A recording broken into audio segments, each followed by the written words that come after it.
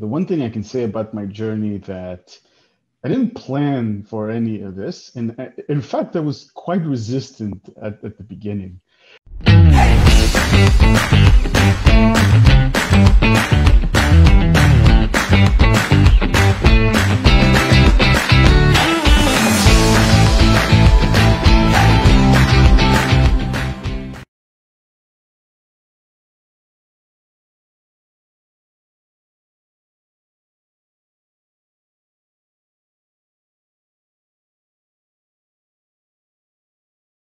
Arod Balissa, thank you so much for joining me on 20 Minute Leaders. Thank you for having me. It's uh, it's wonderful to have you, and it's going to be wonderful to talk about your different entrepreneurial endeavors. A lot of them are social, a lot of them are community. I think that if we, if I look at the different things that you've done along your career, perhaps besides the, the legal stuff, we're we're looking at a pretty comprehensive acti- list of activities that are very much involving the community, uh, particularly that of the ecosystem in Israel. So, Arod, tell me a little bit about your journey leading all the way up to being uh, to managing uh, Deloitte's Catalyst in Israel for startups. Well, I you know I guess the the the one thing I can say about my journey that I didn't plan for any of this. And uh, in fact, I was quite resistant at, at the beginning. Um, it, it, it, started, I'd say Wize started about 10 years ago. I think it was uh, 2011. I was just uh, I was just out of the army uh, after three years at uh, 8200. Um, um, and uh, the there was there was this thing facebook was just starting to share to to, to let you tag people in in things and um, I, I remember that uh, I was uh, very bent on sharing things with people like TED hmm. Talks mm. and, and and stuff like that. So and and the thing won't let me uh, wouldn't let me uh, tag more than six people. So i created a group and hoped that it would have about 30 40 people that i know and would uh, um, you know uh, uh, would would not block me or unfriend me. And it, it it kind of took a life on its of its own. I'd say uh, it, it quickly grew to like a 500 700 people group. Uh, uh, that was uh, pretty active at the time. And, um, you know, I'm not going to walk you through the entire group history because it doesn't really matter, but um, um, it was on that venue that that uh, a bunch of us have decided to uh, um, create uh, an event for for that community. The I think the the idea was um, was originally by uh, the show's uh, friend Guy Katzovich. Uh, um, he, you know, he came to us, uh, came to me and to a few other people and said, "Hey, why don't we uh, uh, have a community event?" I thought it was a good idea. You know, we we did it. It was quite successful. And then I remember one time, um, Guy. Uh, paid me a visit and said, "Hey, I've got this offer to to do this at a at a bar, um, hmm. say every once in two weeks." And my immediate reaction was, that's never going to work. You know, I'm, I'm thankful that he has begged to differ. Uh, but the, the, the, you know, the, the thing was that I wasn't, uh, um, I wasn't really sure that, that it would work and that we should do it. And uh, 10 years later, uh, I can tell you that I am very happy that I was wrong. And I think yeah. Uh, uh and I think one of the things that uh, uh, since then, and actually even before that, I've, I've kind of characterized my approach is that uh, I try to listen and let uh, uh, and, and, let myself be wrong. Um, it's it's a hard thing to do, and I know a lot of people you know talk about failures and being wrong here it's it, it wasn't a failure. We were I, I, think generally speaking it was a it was a success but uh, um, i was wrong. I thought that it there's no way it'll work. Right. and it and it kind of did. And what's that? Not kind of. I mean Wize over over the over the years has had hundreds of events impacting thousands of people. I mean it, it's a, it's a, been a huge success uh, to say the least. Uh, yeah I, I you know i uh uh, I, I completely agree, and, and it has, has it has uh, uh, transformed into something that is, is a uh, critical part of my identity. And I'd say that, mm. um, uh, but I always, whenever I'm asked about it, I, I always start with the fact that I was at the beginning, I never thought it would work, and I mean to this day, I'm really not sure why it still does, but uh, I, I, think I am. Uh, we are fortunate um, that that it still does, and that uh, people in Israel are very excited about the things we do and about the events and the content we bring. Um, but you know, I, I, guess I guess the first few years at Wize kind of gave me the confidence that I needed in order to do more things or more uh, um, endeavors. And I think one of the things that changed about me the most is that I kind of realized that if it won't work, it'll be fine. I mean, you know, uh, the, the term we like to use in Israel is, is, is fail fast, fail often.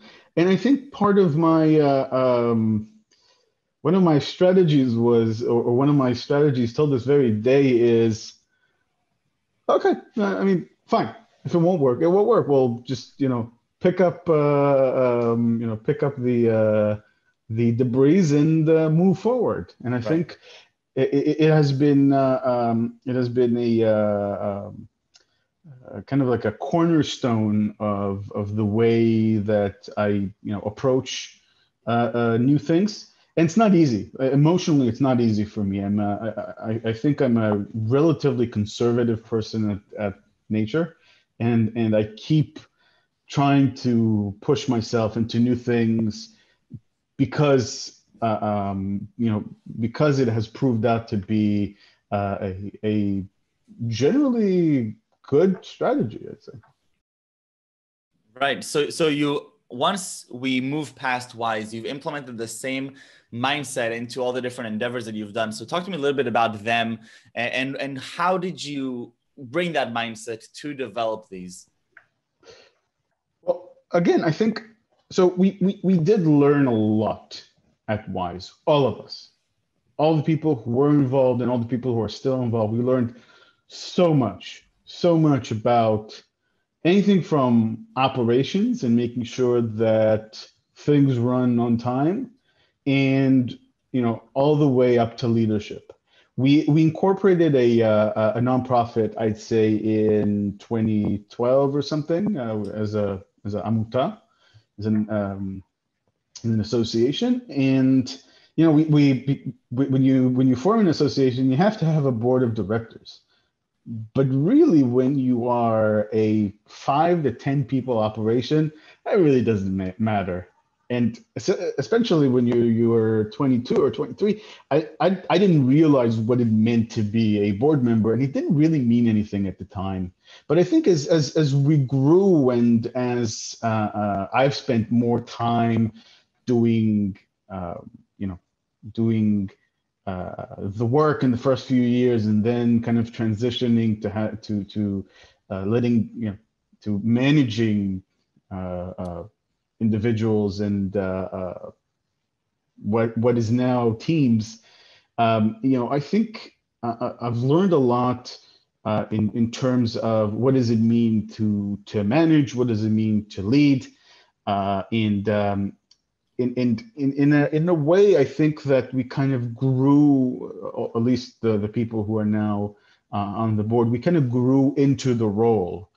Um, and I think that today, if I um, if I uh, think about it, then then um, the, the the thing that, that you know that, that, was most impactful is to know how to take a step back and uh, uh, also bring other people in, trust them, delegate effectively, uh, um, work with them, in some cases even mentor them and really letting other people share that uh, uh, thing that that we've created about 10 years ago Right. So it's not just the community that's that's you know the customer base or the people that are using the product or or or or leveraging the association and the nonprofits work, but it's also internally the people that are that are running it. And of course, I'm I'm assuming that when you were discussing nonprofits and these sorts of associations, um, you need the people there to first of all be very in, right? You need to really loop them in. You need to really make it a community,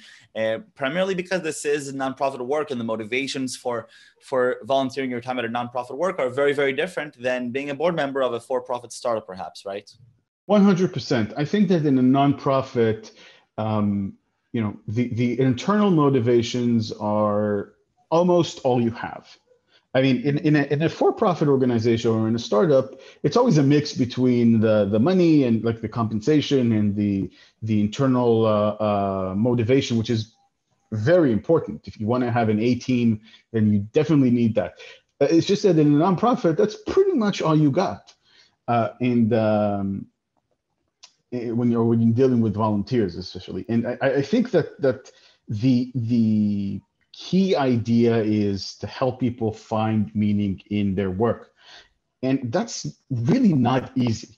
It's not easy for it for uh, um, you know it's not easy because uh, um, people have different agendas and they have different personality structures and people need different people need different levels of guidance and different levels of of support. Some people are more independent and they just want to go for it. And some people need the guidance. And i think that that that commitment is is um, something that that can manifest itself in in in different ways, um, and it never stops. L- let me give you an example uh, uh, from Please. from this day and age. Um, Corona hit, and you know we had to transition from the the bars environment and the offline environment to the online environment, and you know as technical as it sounds, it was also a profound change. And one of the reasons it's such a profound change is not because, well, it is because people consume the content online and not in the bar, but it really impacted our volunteers uh, uh, because the DNA of our, our organization was the physical interaction with one another in bars. And it was for, for our, our uh, volunteers and for our staff uh, as much as it was for our audience. Now right. it took us it took us a while to understand how uh, um, you know how dramatic the change is, and we are still undergoing a process where we are trying to to redefine what it means to volunteer at Wize. Now, uh, the to to be very honest uh, and, and I think it, it, it, it is, you know, it is crucial to say that uh, while, you know, while we as, as the, the organization's leadership kind of had to step back and think about what we can do differently and how we can re, redefine the meaning of being a, a volunteer at Wize, it, it is, it was, and it will be a team effort. And we need all of our volunteers and all of our staff to be committed to this. And if they're not committed, then maybe we're doing something wrong. Um, right. it, it, it, and just to finish the thought, um, you know, the, the the the the key issue in in in all of this is that uh, you know you make mistakes, you you test something in the field, you make more mistakes, you try to implement yep. it, and you basically try to be honest and transparent enough about it in order to uh, uh, in, in order to um, uh, be successful in order to transition well from one environment to another a hundred percent no, and the impact that Wize has had is is phenomenal. Uh, but you've also taken part in quite in, in a few other activities uh, as a board member, particularly both of the Israel Internet Association, but but even uh, more exciting for me, the uh, Alumni Association for 8200. So, talking about your activity there and, and what lessons have you brought from Wize to this association in your learnings? Well, so I, I, I, didn't start off as a board member. I started as the uh, uh, as a uh, newsletter editor, uh, and I uh, you know I was I volunteered there and I spent a lot of time doing that. About I'd say about two or three years, um, and um, I, I, and I think for this the the it was a very busy time for me personally with school and work and uh, uh, a few other commitments and Wize. And uh, same thing. I just decided to go for it and see if it'll work. And uh, uh, I I just really enjoyed uh, um, the journey. And then at some point where I entered the the board of directors. Um, I'd say that uh, uh, I, I, did bring a lot of the things I didn't do well at, at Wize. The all the things that didn't really work well for me or didn't really work well in, in general and all of my missteps i just tried to learn learn back from them. And the, the the, the alumni association is a much different organization and, and i love it dearly. I'm still very much involved and i keep on wanting to be more and more involved. I love the organization. I think it's a phenomenal platform for uh, um, to, to make an impact both on our members and our alumni, but also on on uh, the the Israeli society. And um, I, I, think that that you know one of the things that that I kind of brought with me is trying to learn how to be a, a good board member, which is which is a, a, a, very tricky thing to do because as a board member oftentimes you have a kind of like an internal struggle between right. uh, being you know you want to be there you want to get things done you want to be active but you have to remember it's not your job. Your job is as a board member of course is to weigh in is to be strategic to be thoughtful to help, to offer help if you can, and also be a part of the conversation. It is, I, I think, one of the one of the things that uh, um, you know, one of the things that I carry on to this very day is um, that a and, and this is something that a friend uh, told me. I think originally it came from uh, Stef Wertheimer, but I don't know him personally, so I can't attest. but a, a board member does three things they they uh, appoint a CEO, they fire a CEO, and they ask, "How can I help?"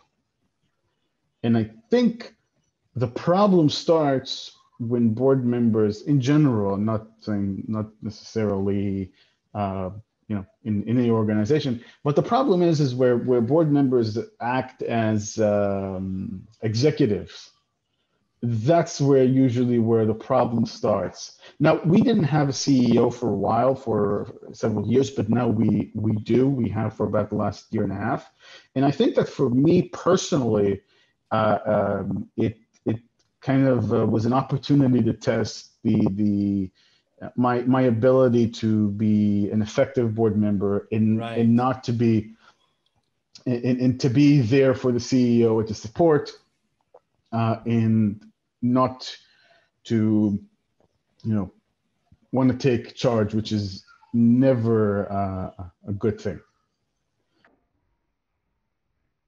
Wow, that's a, that no, that's fascinating. So, uh, what were some of your responsibilities, or what was your experience being a board member? That if you're looking across the board, uh, ironic uh, for these three organizations, what what key insight do you have to potentially other board members that of how they can really be helpful and, and non-clashing because this is a topic that has come one time and time again on this show of what it means to be a supportive and helpful board member versus one that may be clashing or disruptive to the process. So so i'd love to hear you know one or two key insights uh, from your experience. That's, a, that's an excellent question. Um, there's a couple of things. One is the the the role the role of the board in my mind is to provide strategic um, how do you say this? Strategic guidance to the executives.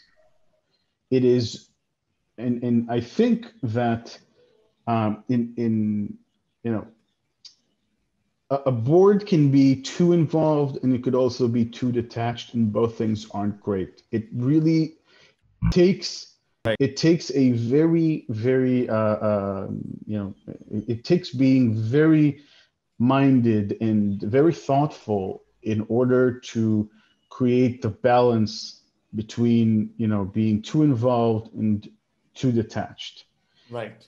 um, I, I think that there's a conception there's a and just to, to add on that thought there's a conception that you know a board needs to do their work full time and maybe in a in a you know fortune 500 company there have they they have to be you know doing their job you know, con- like uh, uh, as, a, as a full-time gig. Maybe i don't know. I've never been on a fortune 500 board. Uh, but uh, uh, but I think that from my experience, the the key issue is to work with your executives to strike the right balance. There's no one answer. It really depends on what your executives need. So that's one thing. Striking the right balance between uh, uh, being too much involved and not being involved at all.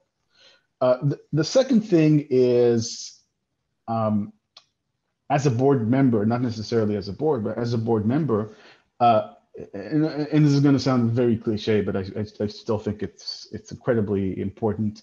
It's crafting a good and helpful relationship with the CEO and with his leadership team. And the key to crafting a good relationship is to show that you're you know you're there you're active you're you, you're interested you're willing to put in the time but you're Right. not there to step on their toes at a certain time you have to be able to take a step back and say i'm i've said my piece i'm not going to get too involved and and uh, you know i've done this i i, I was wrong at this many times I have over kind of stepped my boundaries as a board member. I have been too involved, and sometimes I've been too detached. And to be very honest, I am still trying to figure out what's the correct word for what's sorry, what's the correct balance for each Right. board that I'm in. And the last thing, the last insight, if you want to call it, uh, is um, different boards have different dynamics. And as to be an effective board member, you have to be able to read those dynamics Right. and and take and kind of choose what role you want to play. Now, right. a, a, a, a good friend once told me that a person needs to be needs to know when they are in charge and when they are you know, followers. In, or the way he said it was is typical to Israel. A person needs to know when he's a commander or a soldier. Yeah. Um, and and I think it's it's incredibly important, especially for for and it's actually easier for people who sit on on on several boards. But the the idea is is that you you know different boards have different dynamics and they tend to have different levels of conversation.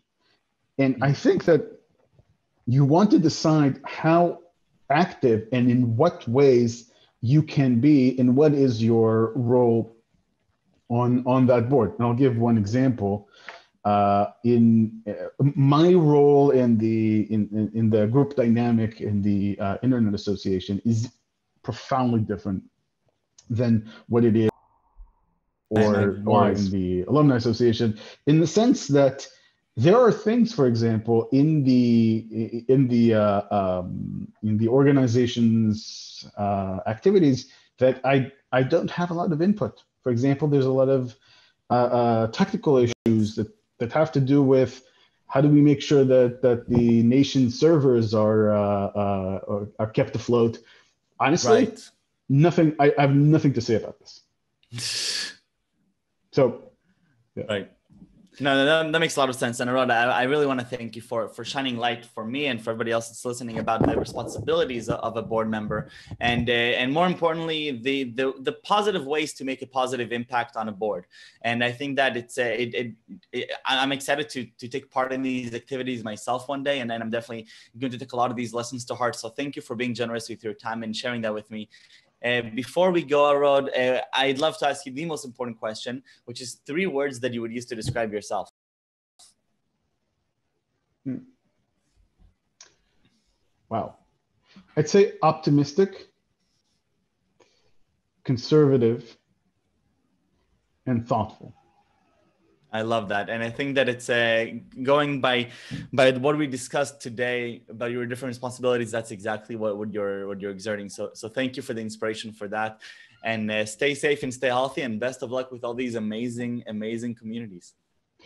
Thank you for having me, and as everybody says, it's all about the people.